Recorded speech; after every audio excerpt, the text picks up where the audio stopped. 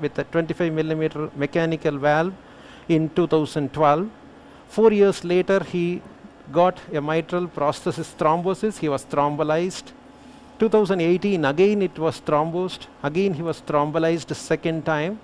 The third time when he again presented with a third episode of thrombosis, the surgeon changed the valve in 2008 towards December to a second mitral valve with a mechanical valve.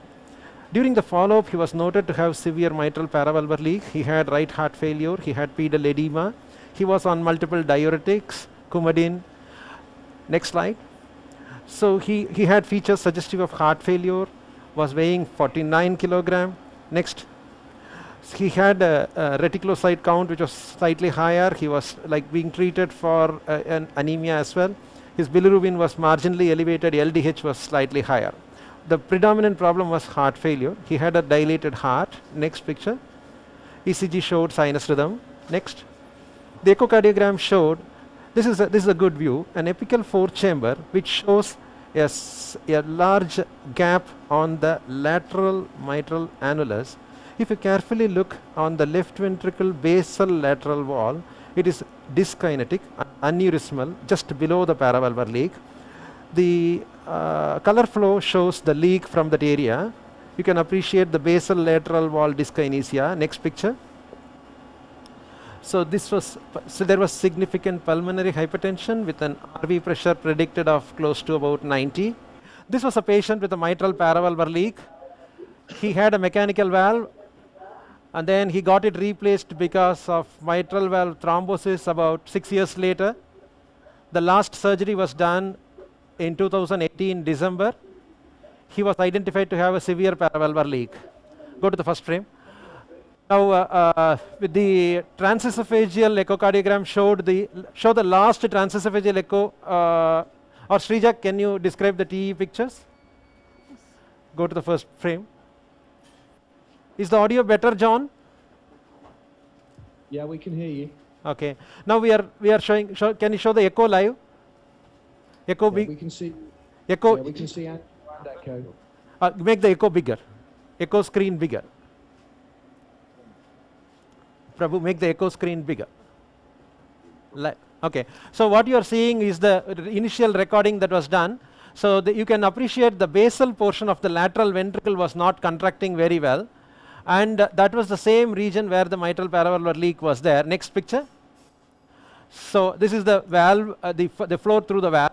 There was a higher mitral valve gradient due to the regurgitant volume passing through the mitral prosthesis.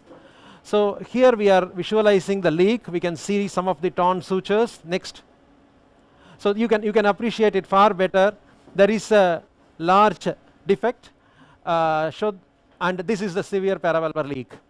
Uh, then next.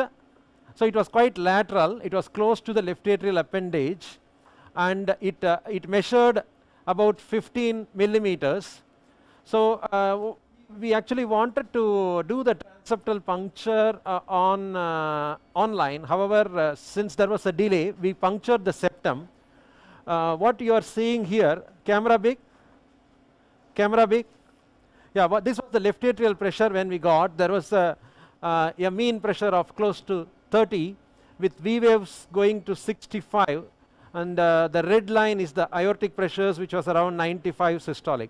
So there was a quite a substantial uh, uh, mitral regurgitation causing tall V waves. The pulmonary artery pressures were around 80 millimeters systolic when the aorta was about 100 millimeters systolic, around 80 percent sy- pulmonary artery pressures. So then we were uh, we were interested to know what was the reason for that basal aneurysm. So first fluoro fluorobig. Yeah, we, we first confirmed that the leaflets are moving normally. So this was the the normal uh, bileaflet mobility of the mechanical valve. Then we wanted to see the circumflex territory. Next. So this was a circumflex injection. We can appreciate that the the uh, there is a myocardial bridge on the large obtuse marginal. This myocardial freeze it and, and show diastolic and systolic frames. Yeah. Now that is the diastolic frame. The diastolic frame, the, the, the, the, the vessel opens out. Show the next frame. Next, next, next. Okay. In the during the systole, there is a long squeeze of the OM OM branch. Next picture. Next frame. So we changed the view and uh, we, we looked at the we looked at the uh, OM branch again. Freeze it. Freeze it and show. Yeah. So in diastole it opens out and in systole it is uh, collapsing and this has possibly left led to a basal lateral infarction. Next, keep, keep going next. You can see that it's quite a long myocardial bridge, but in diastole it fully opens out and this is resulting in a significant basal lateral left ventricular aneurysm. And uh, now Srija, can you show that image that you got where the basal aneurysm was seen and the leak was seen. Yeah, now see the echocardiogram. It is the dyskinetic area, exactly around the dyskinetic area was our leak also. So the next thing that we did was show the next picture. Yes, yeah, this is this is a, this is a LAO projection. You can appreciate that there is a, uh, a, a long myocardial bridge almost across the entire uh, like uh, going across the left AV groove. Uh, go back, go back, show in diast. No, no, Go- show the same. Yeah, freeze it during diastole. Go back, back, back. Yeah, in diastole it completely opens out, and in systole it collapses. We can also appreciate the bulge of that circumflex area uh, caused by the aneurysm. Next frame. So then we did a LV angiogram in order to find out that aneurysm. You can see the basal part of the aneurysm. Freeze it. Uh, you, you can just yeah next next frame next next next next correct you can see that there is a this is a systolic frame next next fr next frame yeah during this correct freeze it during the systolic frame there is a complete dyskinetic bulge on that basal lateral area so so it's possible that this uh, this area of dyskinesia is causing a stretch on the annulus and probably that might have been the reason for the paravalvular leak Z and Varakan, your thoughts, please.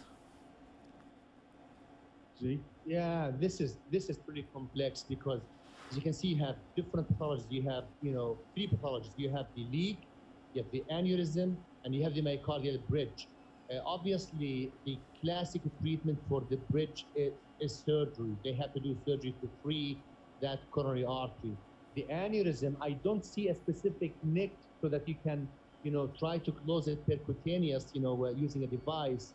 Uh, the, the leak is, is the least of the problem to close in the cath lab. So I would just tackle the leak here and then refer him for surgery so that they can tackle the coronary artery and maybe do something for the aneurysm. Steve, do you have any other Im- imaging on this patient? CT, MRI, anything No. prior to even? No, so No, it's just we- this. no, we- Anyone else want to comment on this very complex case? Is Alison in the room still like struggling to see? Alison Kabalki? So the thing is, uh, we don't know the viability of the basal lateral wall. Uh, wha- what is the what is the viability? Uh, so uh, yeah, yeah. Obviously, we, we may have to do some viability testing, and if there is a viable territory in that lateral wall, we can think about an off-pump uh, uh, venous graft towards that circumflex territory. However, whether the basal part of the left ventricle will get revascularized and whether it will get again yeah, pres- yeah, yeah, an improvement in the myocardial function is not very clear. Okay. Yeah, I, I agree. Uh, I think, you know, uh, you need to uh, assess the viability of this myocardium by uh, gadolinium, maybe uh, MRI, and uh, uh, deal with that. But for right now, one of the acute problems is the paravalvular leak. So at least if you can eliminate that significant uh, leak, at least the surgeons, they can pause and uh, come up with a plan to tackle the coronary artery and the aneurysm. Tony, Yeah. Shiva. Yes. This is Zaid. Hi, Zahid. Curious. Hi, uh, very fascinating case. Did you see any echocardiographic finding of this uh, aneurysm? I, I showed I showed in the PowerPoint presentation there was a basal lateral wall aneurysm, exactly corresponding to that area. Gotcha. And second is, I have never seen uh, aneurysm formation secondary to myocardial bridging. Uh, That is confusing to me. What's the cause for this uh, uh, aneurysm formation? Because myocardial bridge can cause chest pain, you know what I'm saying? But it has not. I haven't, seen it causing a um, aneurysm formation. Okay, Have when, you? when we saw the first, uh, the, the, the basal lateral wall aneurysm, there is a type of an, an, an endemic disease that is seen in patients from Asia and Africa, which is called submitral aneurysm, which is uh, a, a focal outpouching of the basal portions of the left ventricle along the posterior mitral uh, leaflet base and it causes an aneurysmal bulge of the basal wall of the left ventricle and this is, this is known as submitral aneurysm. It's commonly reported in countries like Africa, in Asia, especially India. So we were thinking whether it could be a submitral aneurysm because he's a very young 29 year old person with no coronary atherosclerotic risk factors. He never had a Shiva. coronary, yes. Yeah, uh, we, uh, Samir, uh, do you want to make a comment? Is Samir here? Yeah. Do you want to make a comment on this? You guys are in adult cardiology. You must see this uh, quite often, the bridge and the aneurysm. Can you make a comment? Go back and show the, aneu- the myocardial bridge. Yeah, run it. Yeah. So let's see the myocardial bridge again one more time, please. Yeah, Can you sh- there is the picture of the myocardial bridge. There was a better picture than this, but yeah, So the previous one. the Yeah, no, I previous think one, if there's no this uh, one. this is this is a pretty common phenomenon. I feel like if there is not an angina component, this part can be left behind uh, for now, and then you just take care of the leak as you are doing. Uh, this is the the only times I think this will become something that we really pay a lot of attention to is when there is uh, compression from PA or other structures, and that is causing the bridge. And then it becomes, I think, more of a surgical issue. But for the most part, I think we stay away from this. Don't stent it. Don't put metal in that area. That is probably the best approach. So, Okay. Steve, I think we're all pretty clear that we should just concentrate on the leak now. This is a big hole. Oh, sh- Srija, show the same picture again. Show that same uh, leak picture again. Uh, okay, Z, another. Now the question is uh, about the leak. Uh, it was a 15 millimeter leak. Just show the previous uh, 2D, uh, Srija, the previous 2D. Uh, the, the 2D picture that you are just like you were showing a short while ago.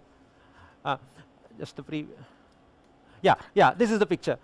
J- See, this is a, this is a leak that was measuring 15 millimeter between those two uh, uh, edges, 15 to 16 millimeter between the two edges, and it was measuring the same on X plane and Y plane.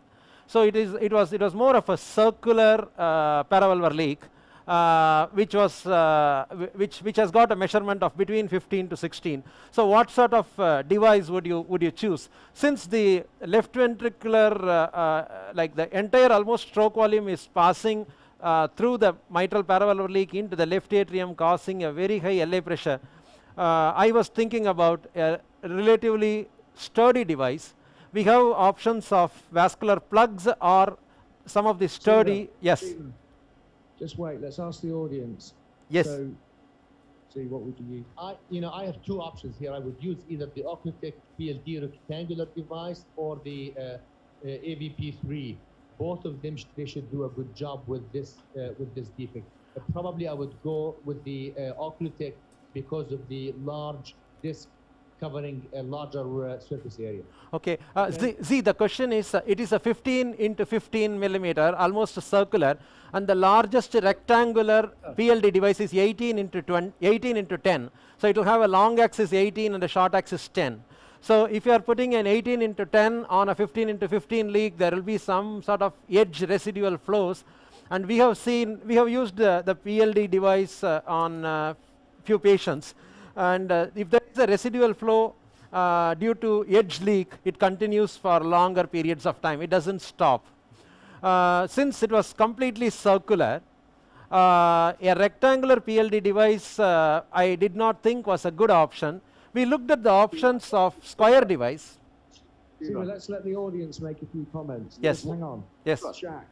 From the shape of this defect, you think two square-shaped Occlutech devices with the waist may fit in nicely? Since it was circular Shaq, I was not thinking about two devices. See, if it is oval or crescentic, we think about two or three stacking them together. But uh, this was very circular. Uh, so when it is circular, then uh, you you try to think about something like muscular VSD or a PTA or one of those circular devices. Yeah. In Okay, fact, well, that's a yeah, in fact, uh, if, if there was a square type large device, I would have chosen, but the square type so diameter stops at 12. There is no device more than 12. See, but I think Shaq's point was, yeah, I get the idea about the circular lesion, but the overall, let's say, encroachment on the valve is likely to be more if you use a single big device than two smaller ones. Is that your point, Shaq? Yeah. Yeah. Okay. Anyone? Alan. Wha- what about a muscular VSD device which will have a 10 millimeter separation between the two? Two Yeah, discs. I, I agree about uh, uh, a device that will be quite uh, uh, rigid because there is a lot of pressure difference and uh, the defect is quite quite large. So either a big uh, Occlutech uh, PVL uh, or a muscular VSD. Okay. Now, one of the concern about using a muscular VSD device, if my device is going to squeeze further the circumflex artery, so I, I should be having a circumflex check angiogram when the device is in, and if there is a worsening of the coronary compression, then we probably cannot put a, muscular VSD. We may have to take it out and then use some softer device like AVP2. AVP2, a single 22 millimeter device is, I think, will fly because uh, because the force of ejection through a large 15 millimeter orifice is quite a lot. But uh, maybe two AVP2 squeeze in together so that they just get entangled there. That may be an option, but the, as a first choice, I was thinking about using a muscular VSD device. with you, Shiva Kumar. I, I think for this 3D image that you showed beautifully, it's circular defect. I think a muscular VSD device should also work in So- this particular picture. So what I am general- what I am taking now is an Occlutech muscular VSD device. So focus on my hand. Uh, the uh, the advantage of a muscular VSD device against uh, the other competitive brands is that it has got the uh, the tilting angle. So if if I am if there is a, a mitral paravalvular leak that we are closing with an Amplatzer or a LifeTech or any other muscular VSD device, there will be a tension on the cable. Whereas I feel the tension on the cable is going to be very less. So this I'm I'm, I'm loading it onto the sheath, and then I'll do it in now under water. Can, Can- we get move, can we keep moving, flash? Steve, a bit to go back to Frankfurt fairly soon? So if you can perhaps uh, Uh, uh, actually, uh, the, the the sheath is already in, so I'll show you the. what, what sheath are you using, Steve? Just explain. You've done a transeptal puncture, and you have what in the left atrium? Is this just a Mullins sheath, or Yes. do you have something Okay. else? Okay. Then show show the next pictures. Next. Uh, uh, no, after this. Uh, no, can you show the previous? Uh, go slowly. Okay. Next picture. So then what we did was uh, we took a, a sheath on the uh, front of the body. This is not actually within the heart. This is on the front of the chest. We wanted to see that we, we actually put an echo navigation on the, uh, the, the tip of my sheath actually is on the paravalvular leak.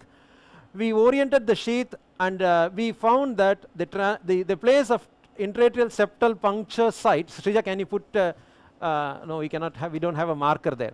So uh, we, we just wanted to see whether the echo navigation site of atrial septal puncture was correlating with the external, uh, like the sheath position. The next picture, the next, next fluoro. So then we came down, we did the septal puncture. Next, and after the septal puncture, we entered into the left atrium. Corresponding to that area of the left ventricular aneurysm, the left atrial appendage was also aneurysmal in that area. Next picture. Then we took a standard right coronary artery catheter uh, and the right coronary artery catheter, uh, the wire was initially going couple of times towards the left atrial appendage. However, subsequently it dropped into the left ventricle. Next. So after it, okay, this is this is actually I think uh, in in fact at this particular time we we wanted to go live. So then again I recrossed. Next picture. So then this is the uh, catheter. Next. Initially I took a soft non-braided Mullin sheath. Next. Next. So this was a initially it was a 10 French non-braided Mullin. However, that was kinking, and so now I have put a flexor sheath 10 French. So this is the this is the position where we are currently in. So uh, echo big, Srija. Can you can you show the echo uh, without the 2D? Uh, ah, yeah, 2D. So now now we are having uh, you know the the echocardiogram. The sheath is completely seen now through on the echo. I'm going Okay, to Can, can you enlarge, Siva? yeah. Can Can, you enlarge the echo picture? So we've got your fluoro on the left and a large TOE on the right. We don't need to have uh, two fluoros.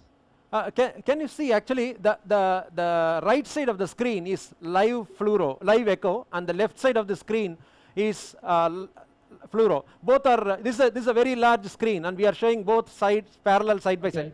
Maybe one Carry thing, on you, you, you put only this. Uh, take, Yeah, now is it okay?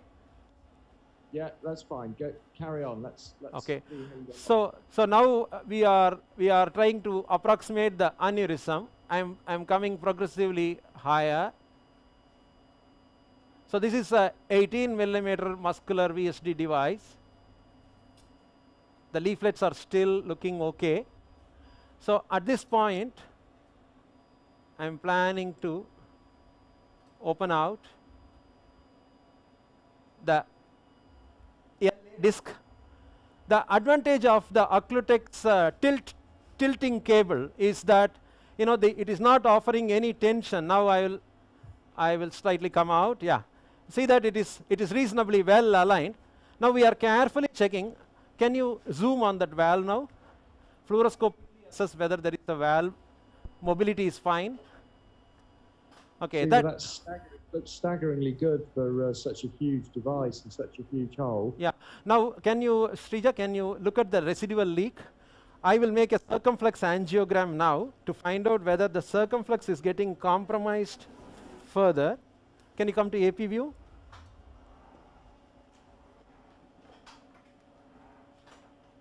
Is this uh, LCA? Yeah, we can see you. So the TOE is the thing we're interested in now. So you can just show to us whether there's any residual leak. Okay. Uh, so, so now I'm going to do the circumflex angiogram. Let, let, see, but let's just concentrate on the device and just show us, get your echocardiographer to take us a few through a few views of the TOE, so the audience, this is now nicely included. It looks very, very good. Rija, can you show the leaflets nicely? In so the the leaflets, zoom on the leaflets, Rija. Yeah, just rotate. I think the leaflet mobility seems to be okay. Can you check the gradients across the valve now? There's no MR, there's no paravalvular leak. I think it looks no, very no, good. What do you think, Shaq? Sorry, I missed the question. Ziad, can I have a question? Or comment? That looks that looks very SIVA. good. That looks very good. And circumflex um, angiogram would change as well. So Can They're ready you to put a deploy. thermowire here? Siva, Yes. absolutely fantastic. Do you want us to come back or can we leave you now after I, this I'm. I'm going to show you the transmitral gradient now. Mean of uh, so that you know you can see the catheter gradient between the left ventricle and the uh, left atrium. John, question up here. So, Yeah, Siva. Yes. Uh, it looks it, it looks good, but I'm I'm not sure whether the stability with the device is quite stable. Uh, will you consider a bigger device? Because I think the issue of compre- of- of compromising the valve probably is not there. With the orientation slightly different away from Make the valve. I- I'm a little bit concerned about the movement of the device. Maybe should we consider a bigger device? Uh, Just I am I'm worried about a very very large device that will cause more stretch on the circumflex. But uh, but uh, uh, it seems quite stable to me. There is a complete abolition of the gradient. Uh, the, the, the this is this is the mitral uh, gradient. You feel you see that it is it's reasonably looking okay. The left atrial pressure has come down from 30 to 14, 30 to 14 or 13 maybe. It's quite a Siva, I think that looks a great result. Are, are you happy with it? Can if I- you are, I think I'm we'll going- ask you to try and move on and release the device so we can get back to Frankfurt. I, I'm just releasing the valve. The, the question about Varakan uh, talking about possible uh, stability, it looks stable to me. So uh, can you get the same view where the leaflets are nicely seen? So now uh, we are we are going to Srija. You are happy about the okay? So so we have released. I'm slightly pulling the the sheet. It looks wonderful, Shiva. That, that's a great demonstration of how to use the, such a big device to treat the paravalvular leak. Very good. Yep. Okay, uh, Siva, I think what we'll do is we'll go back to Frankfurt. We'll maybe pop back into you. Okay, thank you, um, thank you. Thank and Just show us anything more from this to clear up. But that's a wonderful case. Thank you very much. And if we Thank go you. over to CVC. Great case.